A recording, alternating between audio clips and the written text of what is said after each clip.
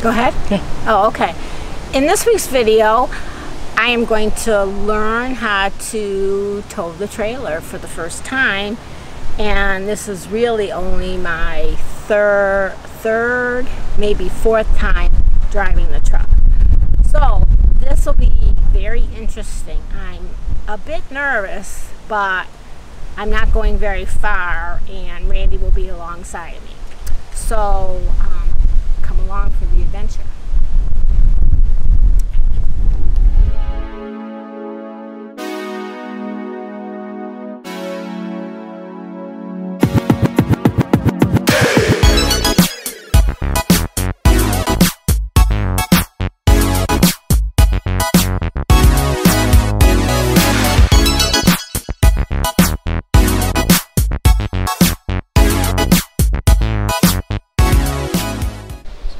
Welcome back to Zephyr's Travels. This week, Diane's going to tow the trailer for the first time. And it's, like she said in the intro, it's only been her fourth time she's maybe driven the truck. Some, something like that. I haven't hardly at all. I mean, we've had the truck for five years, six, no, four years. How long? Five years? About five years. Yeah. And it just, I don't know. It's such a big truck, and uh, you know, for me, it's a bit intimidating. Yeah, you have to understand, Diane's used to driving very small cars. So this is a big step for her to drive the truck, just with even without the trailer, but to drive it with the trailer. But we feel it's important that in a traveling partnership that each partner knows how to drive the and tow the trailer because if something happened to me and I wasn't able to drive, you know, we'd be stranded. You know, if I broke an arm or a leg or something and we needed to get home, you know, you would have to, you know, you would have to drive. And so it's important that you learn how to do that when it's not an emergency Right. so that you're comfortable getting in the truck and driving it, you know, and in those circumstances. So we decided that you know we're getting ready for a big trip, and we're going to be driving farther than we've ever driven from home, and it'll be lo- gone away longer than we've ever been. That it's important that Diane, you know, gets in the truck and drives it and tries it out. right. I mean, not only just to tow the trailer, but just to drive the truck itself. Right, right. So let's talk about some of the things here that are a little bit different when you're towing. So on the dash there you have a monitor. On the top of the dash there this is Voyager. That's your rear view monitor that is attached to a camera at the back of the trailer. So that is sort of like your rear view mirror because that rear view mirror doesn't do you any good. And here you've got towing mirrors and so you've got your standard mirror, you've got your your your, your mirror here for up close. You've got your standard mirror, and then you've got this towing mirror. And this towing mirror should show you a little bit farther around the side of the trailer. It doesn't do a lot, but it does help a little bit. The way I look at this is, you first look in this mirror when you're going down the road, and you should be able to see a vehicle coming up behind you. As it gets a little closer, you'll see it in this mirror. As it gets beside you, you're going to see it in this mirror. So that's kind of the way to do it because you're this truck is equipped with blind spot monitoring, but it doesn't work with the trailer attached. So you won't have the little indicator here on the mirror telling you there's something there. So you need to use the the different mirrors to see if anything's behind you. Okay. But on the dash down there, there is the brake controller. Mm -hmm. And we'll show you when you st- first start the move a little bit, you know, before we get on the road, or have you test the brakes just to make sure they're okay and you get the understanding what that's like. And then that can be used in case of an emergency. If you ever get into a situation where there's trailer sway, mm-hmm. you can manually apply those brakes, and what it does is it slows the trailer down and basically, you know, the trailer's trying to go faster than the truck, and that's why it's swaying. If you hit the brakes on the trailer, the trailer will slow down, and that will bring the trailer back in line with the truck. I think that's about it. I think what we're doing next is we'll just have you carefully pull forward, and because the trailer is tight against the garage, and so I'll have you just pull straight forward, and then we'll get out into the driveway a little bit, and I'll get in, and then we'll talk about going around corners and such. Okay, we've got the truck running, and Diane's going to pull it forward slowly, and I'm going to kind of guide her, and just go slowly, and I'll tell you when you can turn. Just go straight. Okay, now you can start turning. Turn it sharp.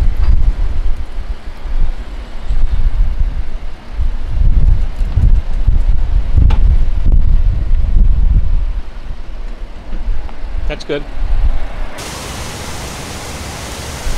Okay. So you're going to be taking a left-hand turn, and if you don't cut over to the right a little bit, you'll end up um, driving the trailer through the front lawn. So take it kind of, yeah. Anybody coming? Nope, you're clear.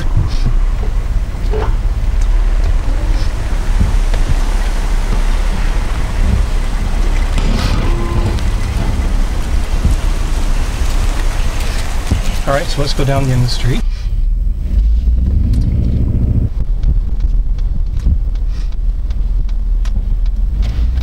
You see how it kind of, you cut that corner like you normally would drive, and I see how the trailer went across the other lane quite a bit.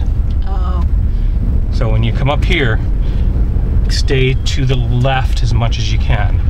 In fact, you know, in this situation where you really got a corner where no one's really coming, you can go, you can hug the middle of the road pretty well. Okay. So now you want to, you actually want to cross over into the left-hand lane because this is only a two-lane road.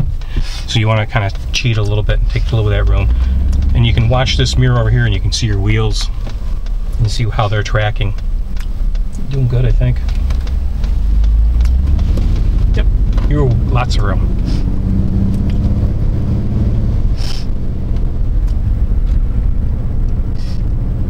right or left? Let's go left. Or stick to the country a little bit. Okay. Nobody's coming. Nope.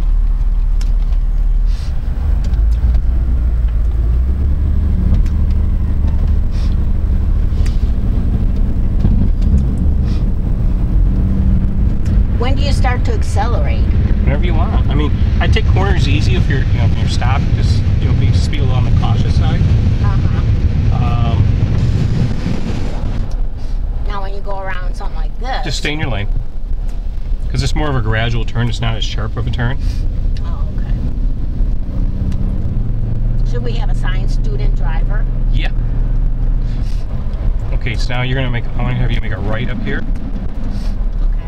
So you get now this is one where you're you're gonna have to try to stay in your lane. So you wanna you don't want to get over to the right at all. You want to stay to the left and go straight in straight up to it. Like you normally would. You normally you'd be over here on Right. the right hand side, but you're gonna go straight, but you're gonna keep it. It's okay, everything's clear, so just make your turn and you've got plenty of room over here to clear. Perfect.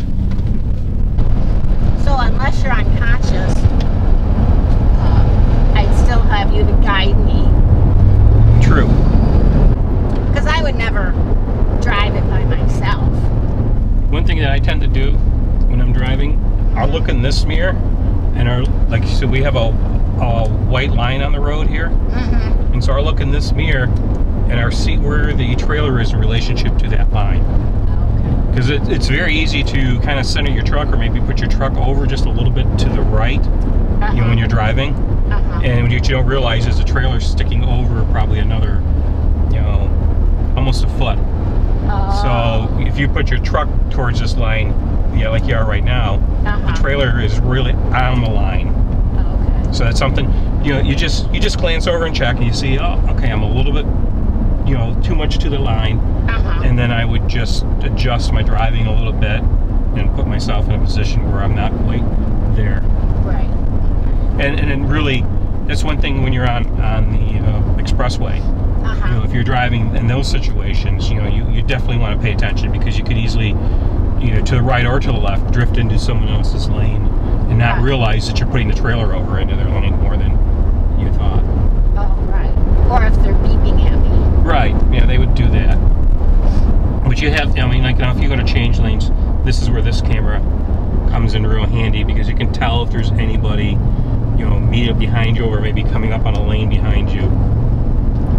Those mirrors work good, and the outer mirror will help you a lot if you were to adjust that a little bit Uh-huh. closer for you to help you manage that other lane if you to change lanes. But typically, what you're going to you're going to do is you're going to get in the right-hand lane. You're going to pick a speed that's just slightly slower than you know, that you're comfortable at, but, but probably just slightly slower than what everybody else is driving, and then make, make them pass you. Right. You know, I mean, as long as you're on a multi-lane road and you're not holding up traffic, you know that you know you're not going to upset anybody. They're just going to go around you, and that helps keep vehicles away from you pretty well. If the um, speed limit is 65, how fast do you go? I might go 60. Yeah. You know, if when I'm on the expressways and the speed limit is 65 and everybody's doing 70 plus, Uh-huh. I typically do 65 to 68. I Oh. pick my speed there because I know it's an odd speed. Most people are going to drive 70, Uh-huh.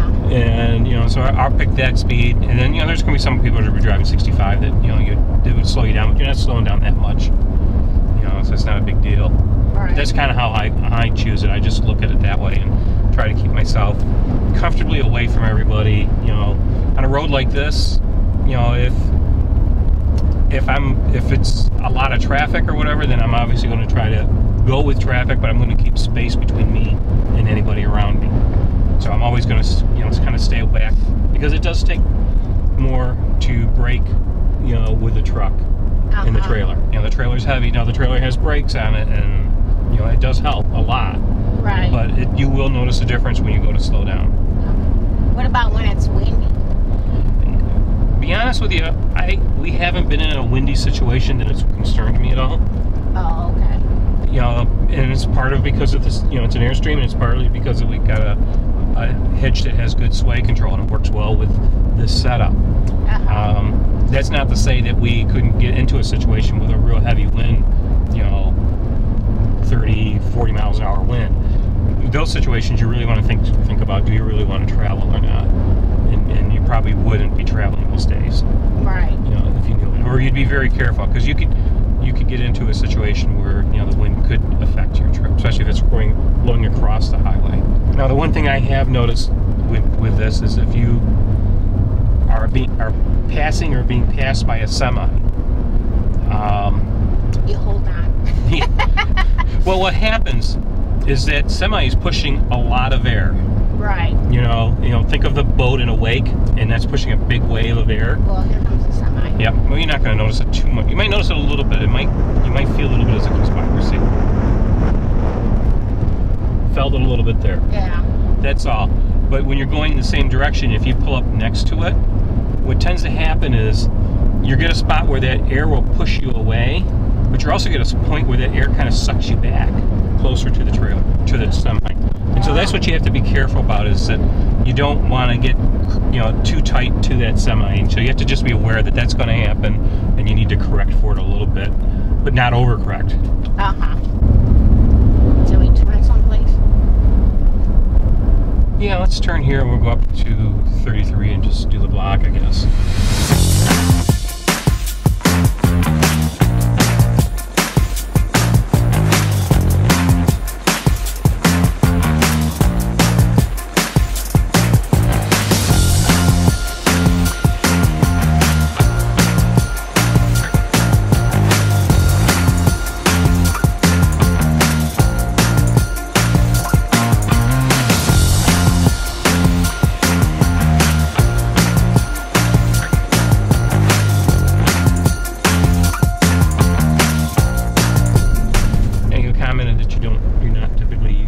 A big vehicle like this, and that you're driving smaller vehicles.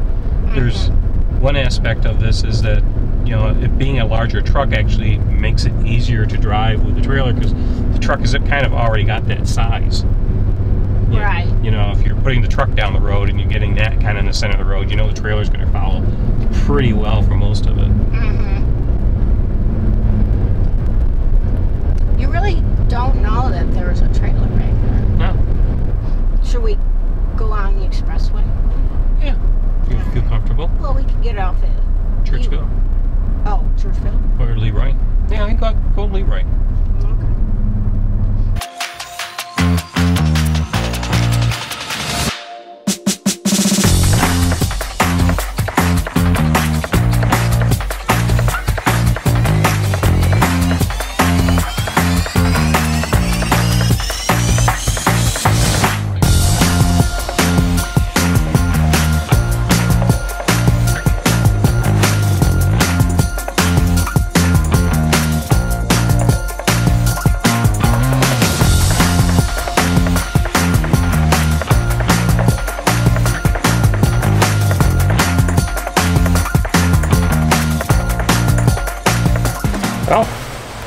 You did it. Yep. What'd you think? Um, just driving along the road is not, you know, bad. Uh, you just have to be very cautious when you turn and just remember, you know, where you need to go, whether you're turning right or left. And uh, so we just drove along some of the roads in our area and then we took it for a short drive on the expressway. So, yeah, I didn't. I wasn't as anxious as I thought I would be. Right. Um, I think I would need you alongside, you know, to guide me a little bit. But it wasn't, you know, really that bad at all. Oh, good. Yeah. Yeah. well, So I think I can handle, you know, some of the roads. Right. Well, we'll have to let you practice some more when we're traveling. Right. Yeah. You can take a shift every now and then. Yep. Okay. Well, I'm glad you did it. Yeah. Hopefully, you guys have found this interesting, and you know maybe some of you who haven't towed before, um, it's an opportunity to see what it's like for a beginner. If you did, please give us a thumbs up. And what should they do? Subscribe to our channel. Great. Subscribe to the channel and hit the bell for notifications. We post new videos every week, and we've got a bunch of new stuff coming as we start our, our winter adventure. So follow along. Until the next time, guys, we'll hopefully see you down the road. See you down the road. Bye.